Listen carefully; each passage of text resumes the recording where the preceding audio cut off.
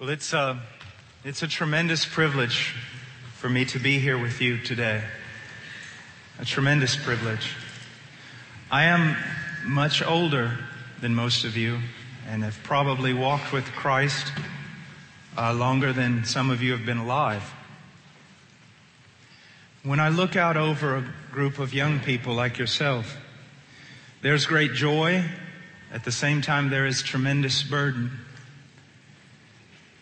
As you walk with Christ and become a minister of Christ, you begin to see the great dangers that exist in the world. How this is not a game. You also grow in your passion to see the church presented to Jesus Christ as a spotless, stainless, pure virgin. Your great desire is for the holiness of God's people, to see salvation worked out properly in its three tenses that you have been saved, justified, and that if you have been saved, justified, you are being sanctified. That God is working in you to perfect that which He has begun, and then to ultimately see you glorified. But I look out over you today and I can tell you this. You are wrong. You are so wrong about so many things. Yes, you are wrong about so many things. You are. Now, do I say that as a legalistic, judgmental preacher? No.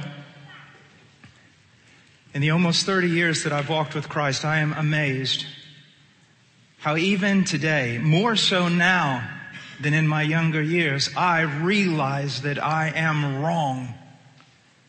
That I am so much a product of my culture rather than scripture. And I'm here to tell you, it's not that I walked in this room here today and I saw things that were wrong or flagrant violations of the word. No wasn't that I didn't approve of the worship. I enjoyed the worship. I'm just here to tell you that the beginning of walking with God is to know that you have come forth from a twisted, dislocated people. That in order to truly walk with God, you must be changed in your thinking. You must be renewed in your mind. You must begin to conform your life to the scripture rather than the culture which has so much great a hold on you, far greater than what you could ever imagine. I would that you would be holy. But for you to be holy, you must know what that means. And the only way to know what that means is through the scriptures.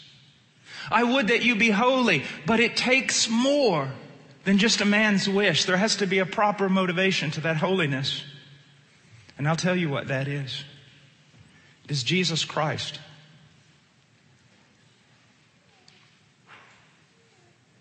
I sometimes feel like a prisoner. A prisoner. Chained in every place. Around wrist, shackles around feet a prisoner of Christ. That the more I come to know Him, the more that the love of Christ constrains and pushes and demands and inflames the heart you see, thus far I have told you that there's so much about you that is wrong. Conform to your culture instead of being conformed to the Word.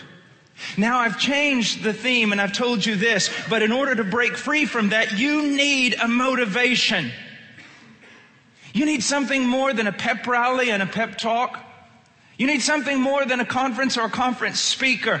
You must grow in your knowledge of who God is and what God has done for you in the person of Jesus Christ. And the more, if your heart has truly been regenerate, if your heart has truly been renewed by the Spirit of God, if you have truly been converted, the more you will know about Christ, the more Christ will captivate you. And most of the problems resolve.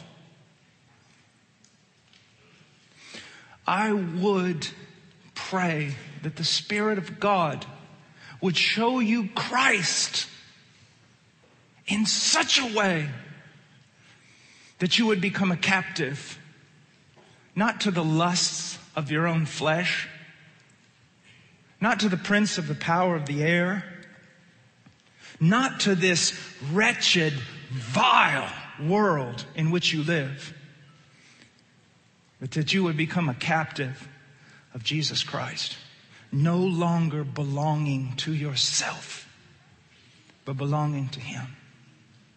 Now let, us go in our Bibles to Second Corinthians.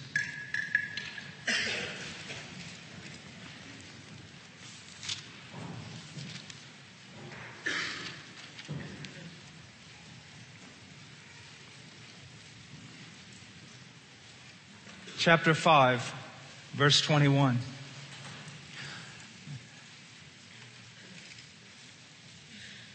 He made him who knew no sin to be sin on our behalf so that we might become the righteousness of God in him. How many times have you read this text? And yet there is enough glory in these few words to propel a heart into an eternity of godliness.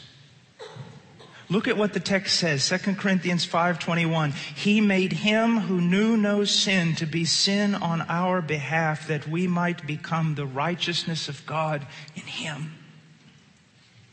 Your mind is filled up with so many things. You waste your mind on so many things, but you would not waste your mind if you shut off everything else in your life and you dedicated every waking moment of every day of the rest of your life to understanding what this passage means. And I would assure you that the more you understood it, the more you would be conformed to the image of Jesus Christ. And the more you would be propelled to want to serve Him with all your heart, soul, mind, and strength. Many of you have come here to learn to preach. Many of you have come here to know what it looks like to be in the arena of the corporate world as lawyers and, and engineers and this and that, and you want to go out and have an impact for Christ, you do not know the monster that's laying at your door. You don't know how many people just like you this world has eaten to pieces. Men of best intention with greater moral fiber than you now possess. It's going to take more than just intention for you to be used of God when you leave this school. It's going to take a heavenly vision. It's going to take a magnificent view of what God has done for you in Jesus Christ. That's what you need. Then all the vain things that charm you most, you will gladly sacrifice them.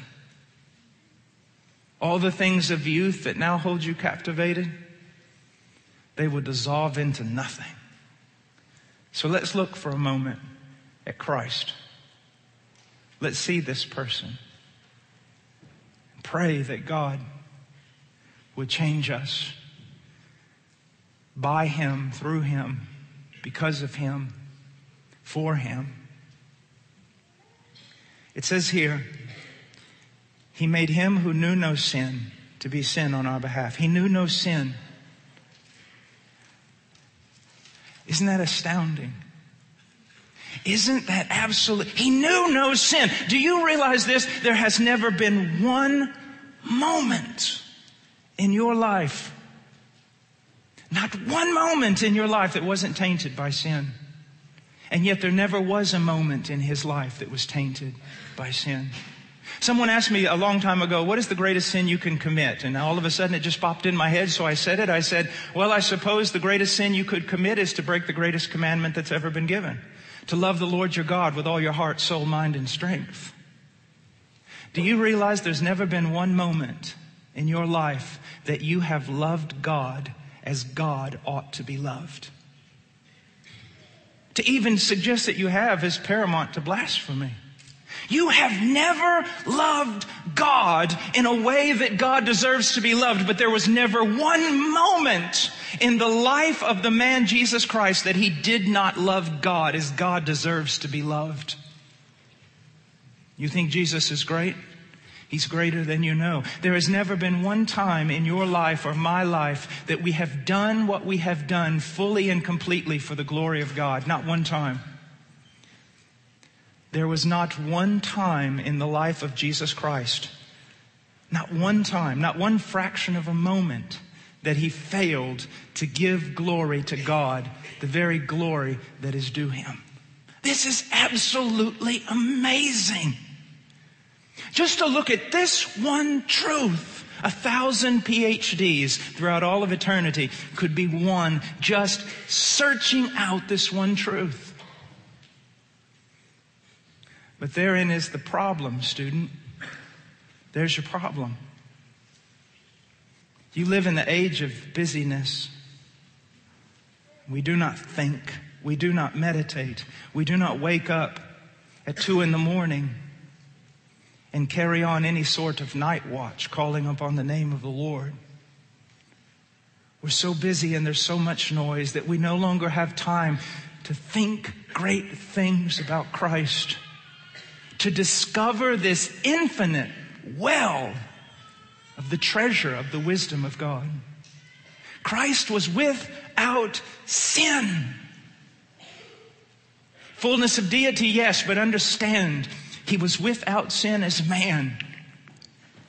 This man, Christ Jesus, walked in perfect obedience to God, and yet Paul tells us that he who knew no sin was made sin on our behalf how can we understand this passage? We are people of unclean lips and we dwell among a people of unclean lips. Our stock, our family, we drink down iniquity like it was water. We cannot understand the grievous nature of sin, the hellishness of sin, the vile, degrading, disgusting mark of sin. We do not know it and therefore we cannot appreciate the fact that this one holy Son of God became sin, was made sin on our behalf. Now, you've read this passage before, but what does it mean? Have you ever thought about that? You tell people all the time that Jesus bore our sin.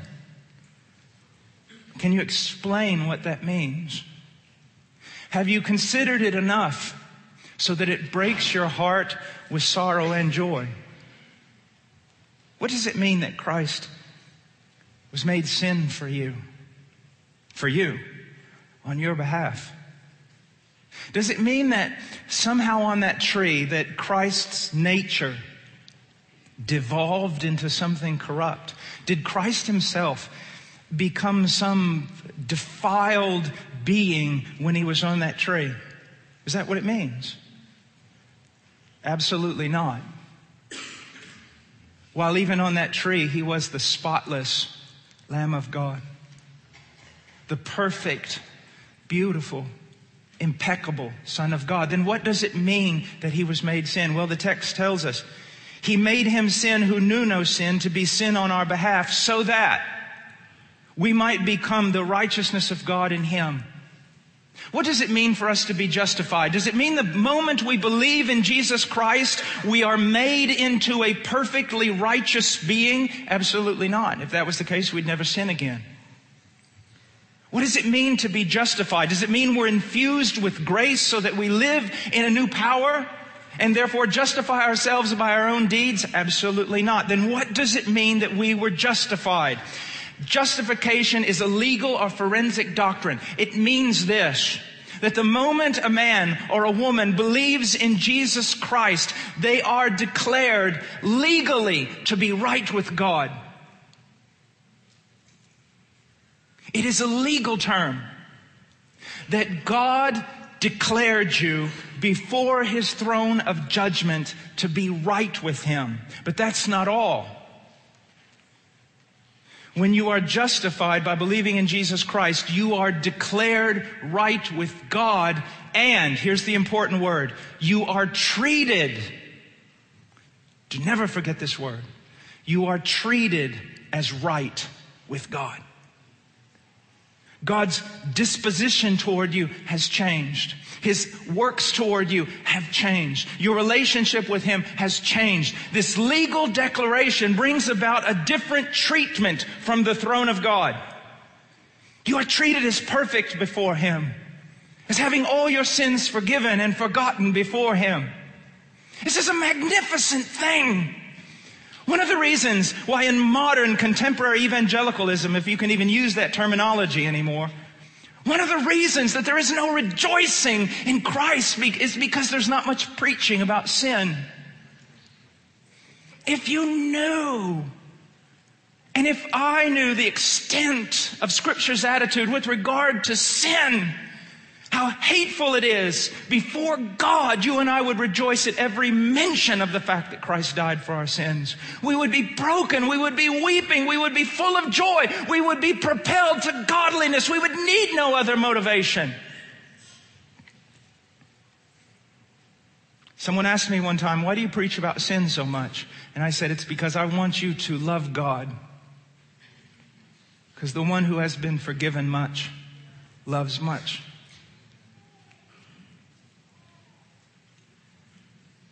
So what does it mean that Christ was made sin? His, our sin, the sin of his people, was imputed to him. It was imputed to him. It was placed upon him. Now here's the big word again. And he was treated as the one guilty before the judgment bar of God. Now, there again is a life worth of preaching.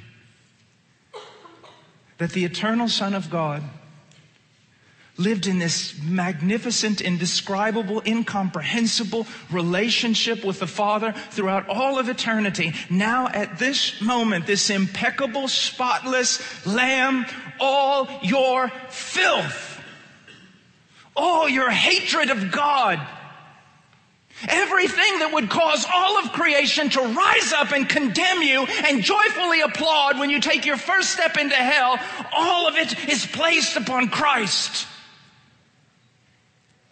It's placed upon Christ.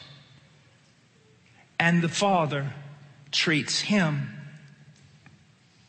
as the full mass of us ought to be treated. Again, how can we understand that? We were born going astray from the womb, the psalmist says. How can we understand that? We have been so long estranged from God. How can we understand that when even as Christians we could, we could choose we over the study of the scriptures? But you see, Christ, this man hanging on this tree, the eternal Son of God, he always beheld the face of the Father. He was his Father's joy, and his Father was his. And in that moment, to bear our sin goes beyond any tongue of human or angel to tell. I once was walking around in a field and I was crying out to God and I was praying. I said, Oh God, every time I've ever preached the gospel, I have failed. How can a man get his mind around this thing? And if he could, how could he proclaim it? Even if he was Spurgeon or Jones or whoever, it still would be an impossibility. Oh God, grant me on that day when I pass over into glory that you will give me one time an opportunity to stand upon a box and preach Christ as he ought to be preached. I heard no voice. There was no, there was, there was nothing of extra biblical supernatural revelation, but this thought came into my mind. Even then, you shall not preach him as he ought to be preached. Only God can preach that way. You see, you see, the Christian life Eternal life begins at the moment of conversion because eternal life is basically that you may know Him. That you may track him down. To turn away from all the trinkets and trite things of children and run to Christ. There are men who go to greatest lengths to, they risk their life going miles and miles into the earth, Job tells us, just to find something that shines. We should be men and women who do the same with regard to this person of Christ. How is it after all these years that your zeal consumes you? Because of Christ. This glorious pursuit that everything you know, everything you learn every day as you go along and you increase in knowledge, you realize that for everything learned, there's an infinite number of more things discovered that you do not know. This is what you need. To know Him. To know Him. It was an imputed guilt, but it was real. It was a real guilt that the Son of God bore on your behalf for you. Doesn't that make you hate sin? You say you do not have a love for God as you ought, or you do not hate sin as you should. You're right. But the more you know the price that was paid in order to take that sin far from you, to pay for it, the more you know that, the more you will hate sin.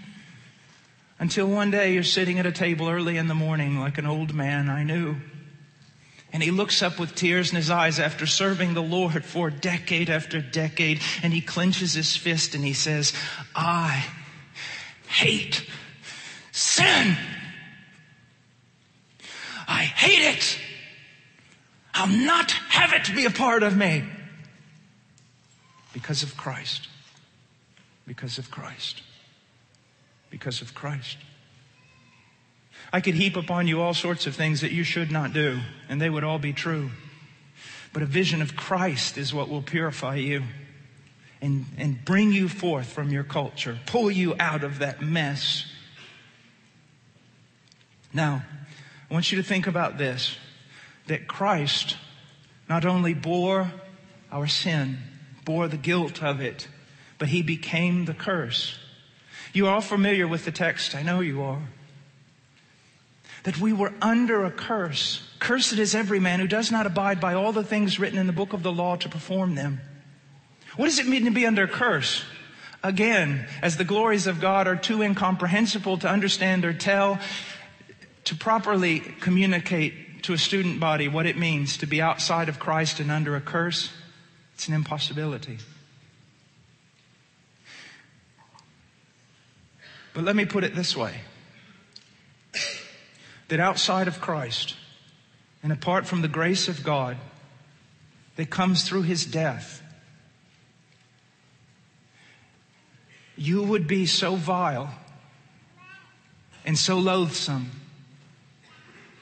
before all the holy hosts of heaven that the last thing you would hear when you took your first step into hell on Judgment Day would be all of creation standing to its feet and applauding God because He has rid the earth of you.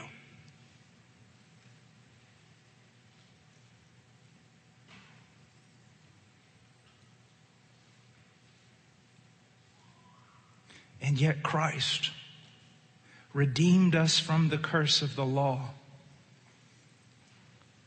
taking that curse in our place and bearing it. How can you not be a prisoner of his love? How can you not willingly throw yourself to him and say, if it be so, if he has redeemed me from such an extraordinary mess, how can I not think of him, serve him, and lament when I do not? I want you to just think about something for a moment. I'm going to have to skip through some things because of time. I, I, want you to think, I want us to go for just a moment to the book of Deuteronomy. Just, just hold in your mind what we're talking about. You know that when Israel was brought forth from Egypt, after a while, they had two things placed before them. there was Mount Gerizim and Mount Ebal. On Mount Gerizim, some of the Israelites were to stand. And as they stood there, what were they to do? They were to pronounce the blessings that were to be heaped upon the head of the covenant keeper. You remember that? Then there was Mount Ebal, and on Mount Ebal, another group of Israelites were to stand forth and shout forth all the curses that were to fall upon the head of the covenant breaker. Now, every one of those curses in the book of Deuteronomy are yours. You are the covenant breaker. It's you. It's me. Every one of those curses is yours. But on that tree, every one of those curses fell upon Christ. Do you understand that? That He redeemed us from the curse of the law by becoming, by bearing a curse in our place, the curse, your curse. One of the things that most hurt men today is not preached supposedly for the benefit of man. We are told that men's psyches, modern man, is far too weak now to bear with hearing anything wrong about himself. But because of that, because we do not realize what we are apart from Christ, we cannot appreciate what Christ has done. And that is a great disservice if you do that in your preaching. You see, I can ask you right now a question. Where did all the stars go this morning? Did some giant come by and just pick them all up in a basket? Carry them to the other side of the world. Where did they go this morning when the sun came up? They went absolutely nowhere. Then why can we not see them? Because of the light of the sun, we cannot see the stars. So we lose their glory. We no longer see their beauty. And that's the price evangelical preaching has paid. Because you see, it is only against the pitch blackness of the night that we see the glory of the stars. And it is only against the pitch blackness of man's radical depravity that we can begin to see the glories of the gospel. To understand what we were, to understand the greatness, the tragedy, the terrifying nature of the curse that was upon us all and that Christ had to suffer. What I've done is I've arranged all these curses, taking them right out of the text in Deuteronomy 27 and 28, and I'm going to read them to you, but in a different way. No longer applied generally to a covenant breaker, but applied specifically to Jesus Christ on that tree. Now I'm going to say something that, that I once, something that was mentioned by, by R.C. Sproul and I call his name in on this so that you realize when you are shocked that this is orthodox. What is it?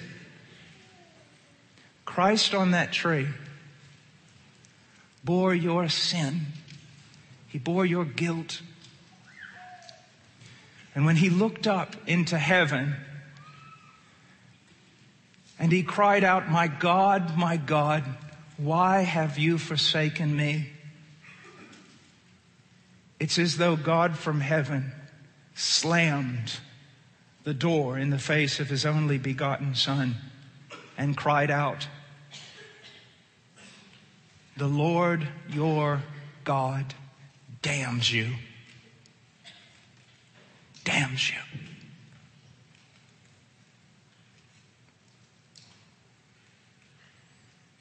The Lord send upon you curses, confusion, and rebuke until you are destroyed and perish quickly. The Lord smite you with madness and with blindness and with bewilderment of heart, and you will grope at noon as the blind man gropes in darkness with none to save you. This was your lot. And Christ bore it on that tree. The Lord delights over you to make you perish and destroy you, and you will be torn from the land. Cursed shall you be in the city, and cursed shall you be in the field. Cursed shall you be when you come in, and cursed shall you be when you go out. The heaven which is over your head shall be bronze, and the earth which is under you shall be iron. You shall be a proverb and a taunt among the people. Let all these curses come upon you and pursue you and overtake you until you are destroyed. Because you would not obey the Lord your God by keeping his commandments and his statutes which he commanded you. This was yours. And this is, was mine. And this is what Jesus Christ bore for us on that tree. The wrath of Almighty God against our evil. He was cursed as a man who makes an idol and sets it up in secret. He was cursed as one who dishonors his father or mother, who moves his neighbor's boundary mark or misleads a blind person on the road. He was cursed as one who distorts the justice due an alien, orphan, and widow. He was cursed as one who is guilty of every manner of immorality and perversion, who wounds his neighbor in secret or accepts a bribe to strike down the innocent. He was cursed as one who does not confirm all the words of the law by doing them. This was Christ. You see, student, listen to me. This is the way to holiness. The gospel of Jesus Christ is that great mystery of godliness. And the more you understand the greatness of what Jesus Christ has done for you, the holier you will become. And as I can quote again the songwriter, in all these vain things that even now, as you sit there in your seat, charm you so much, they will be gone. You'll have nothing but Christ. But Christ.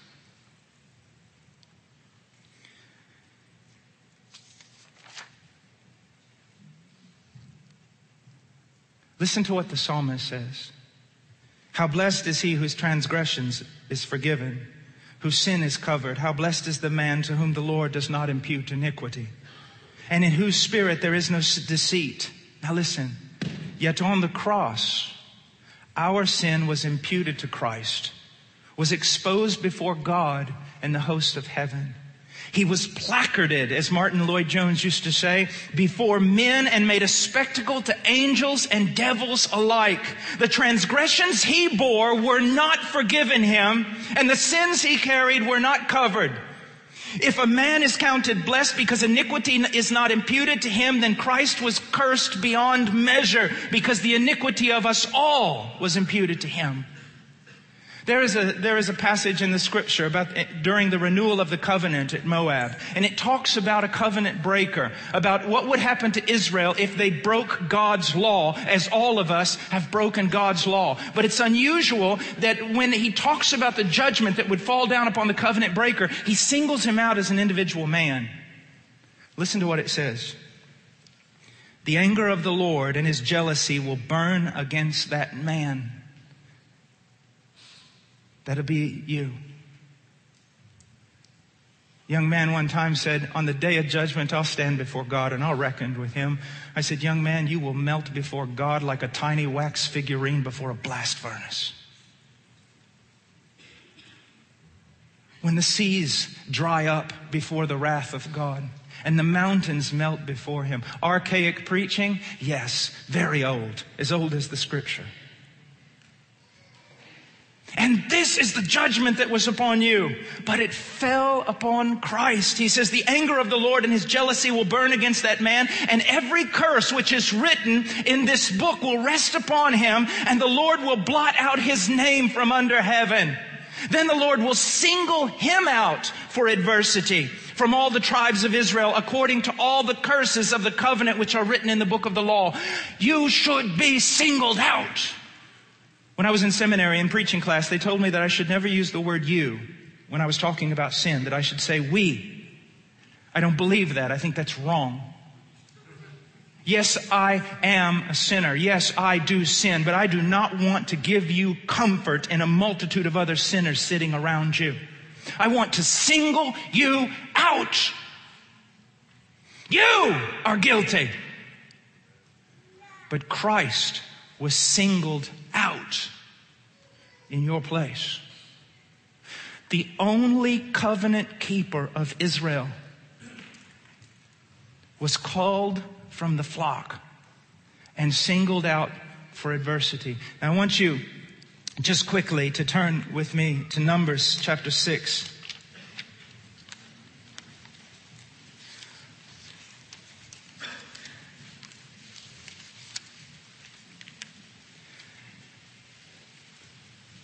The blessing of Aaron. Chapter 6, 24, the book of Numbers. The Lord bless you and keep you. The Lord make his face shine on you and be gracious to you. The Lord lift up his countenance on you and give you peace. Those of you who study theology, do you find a problem here? A problem. The greatest problem in all of Scripture is here. This is not right. This is not right.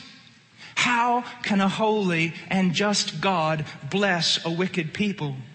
How can he pronounce blessing upon you? Is he not the judge of all the earth? Will he not do right? The only way that this blessing can fall upon the head of God's people is because the curse fell upon the head of God's Son. It's as though God looked down from heaven and turned this priestly blessing around and said this, the Lord curse you. The Lord give you over to destruction. The Lord take the light of his presence from you and condemn you. The Lord turn his face from you and fill you with misery. My God, my God, why have you forsaken me?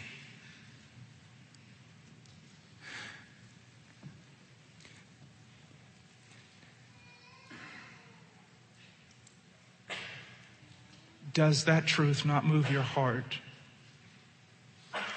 Then be afraid. Be very afraid. Wonder to yourself whether you even know him. Examine yourself, test yourself to see if you are in the faith. With all diligence, make your calling and election sure.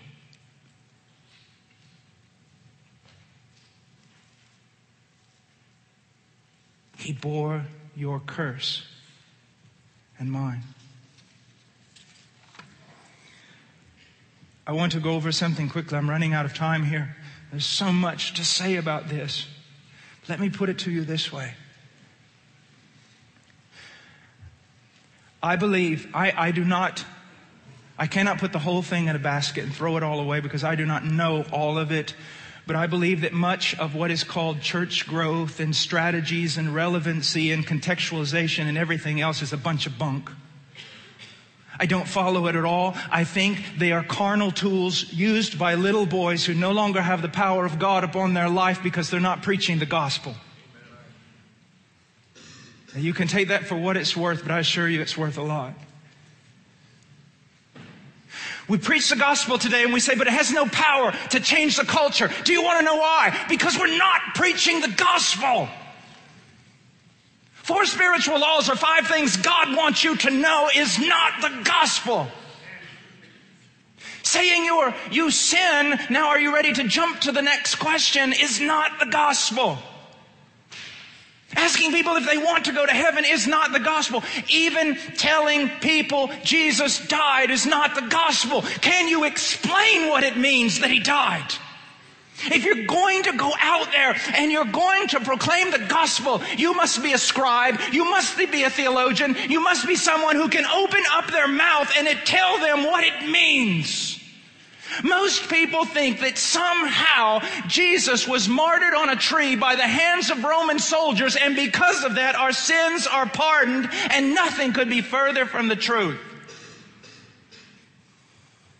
If you're saved here today, you are not saved merely because of what the Romans did to Jesus on that tree. You are saved because of what God did to his only begotten Son on that tree.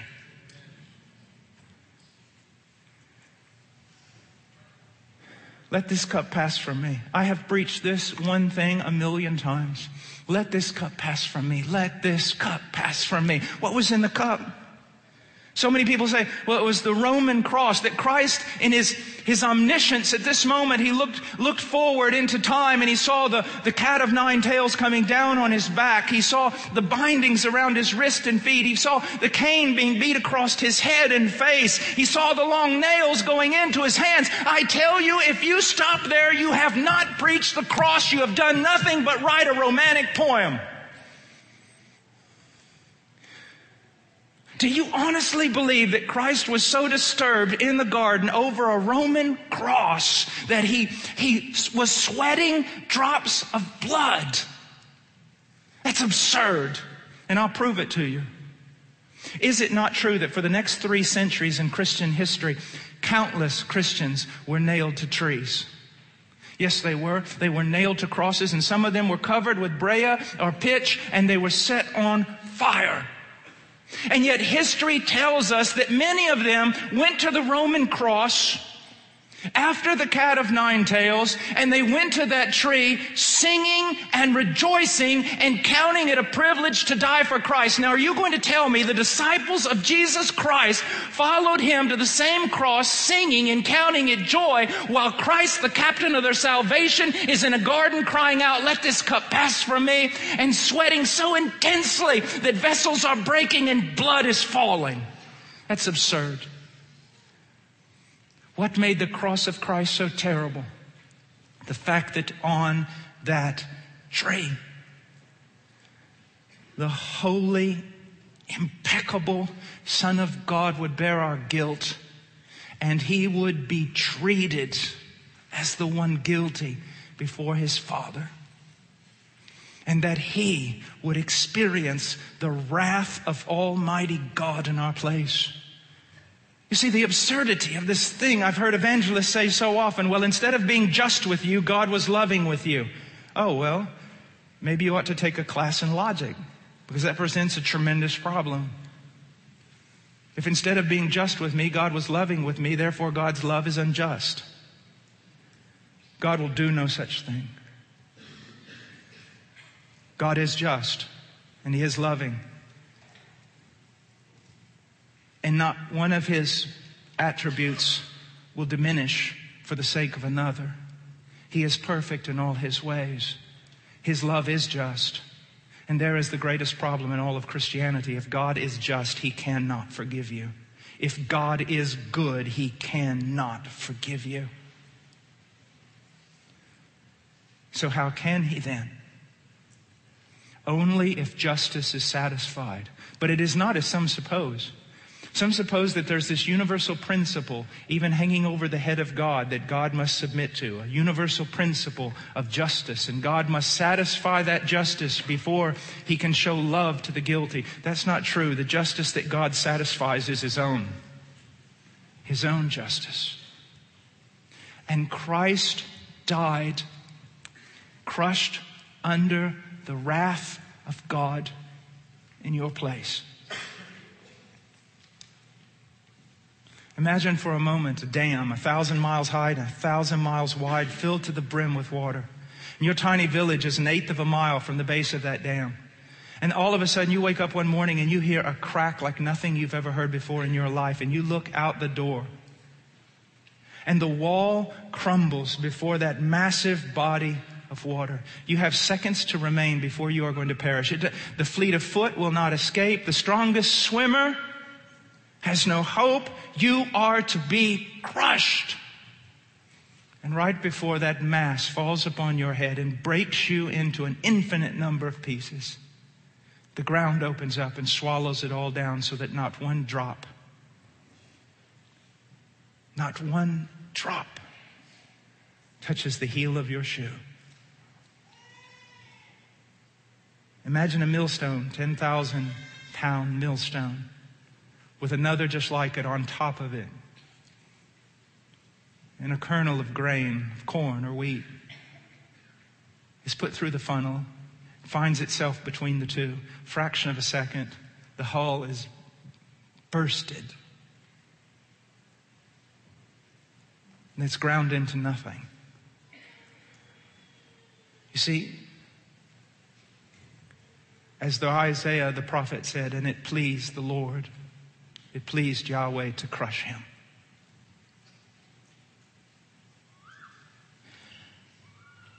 That makes us captives. Son, you're going into the ministry. I'll ask you what an old man asked me many, many years ago. Boy, can you be alone? While all your other friends are running around in bachelor packs and playing video games and running to and fro to conferences? Will you belong to God? Will you be His man? Will you tarry before Him in the long watches of the night, in the Word of God and prayer, until you are consumed, until you become a prisoner, until you become His, until Christ becomes so magnificent to your weary eyes.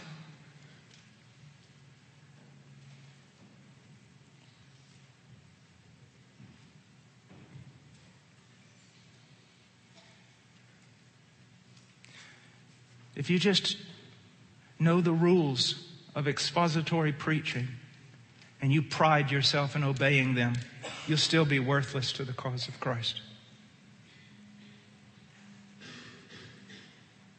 You must be a Christ centered expository preacher. You must be a man of prayer. You must be a man who calls himself away from the noise of this present evil age and spends time alone with God.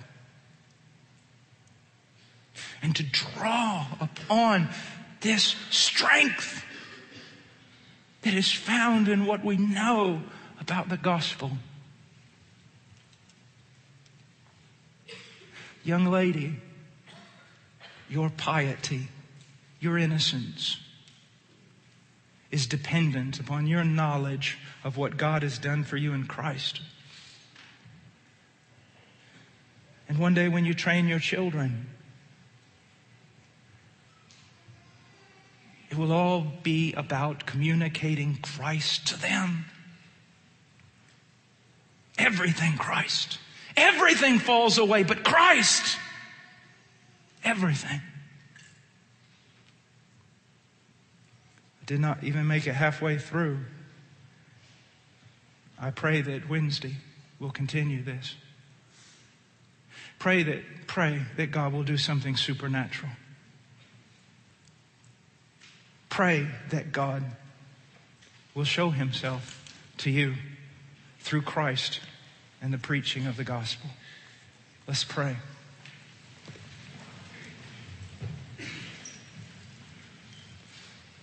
Father, I come before you and I pray. Lord, we are entirely dependent upon the Spirit of the living God and the Word preached. Father, I pray that Christ, the height and the depth, the breadth, that something of it, Lord, would be revealed to these students in an ever increasing matter, Lord, in an ever increasing manner. Father, it's so pitiful what has been done here today. Can these bones live? You know, O oh Lord. You know.